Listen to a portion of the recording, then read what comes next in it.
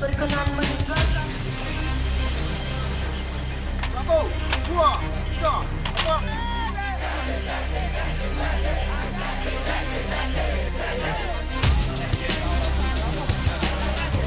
Gelar pasukan jelang latihan Perang Armada Jaya ke-34 tahun 2016 dipimpin langsung oleh Kepala Staf TNI AL Kasal Laksamana TNI AD Supandi di Dermaga Ujung Komando Armada RI Kawasan Timur, Koarmatim Surabaya. laksanakan latihan armada 34 ini dengan 7.558 personil TNI Angkatan Laut beserta berbagai macam alutsista atau material tempur akan terlibat dalam latihan perang yang akan dilaksanakan di perairan Tanjung Jangkar, Asem Bagus, Situbondo selama empat hari.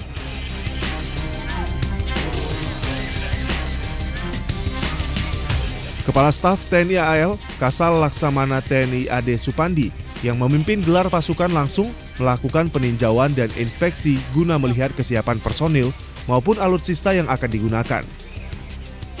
Dalam inspeksinya, Kasal Laksamana TNI AD Supandi masih menemukan sejumlah material tempur dan beberapa peralatan pendukung yang bermasalah karena kondisinya yang tua serta membutuhkan pengadaan baru.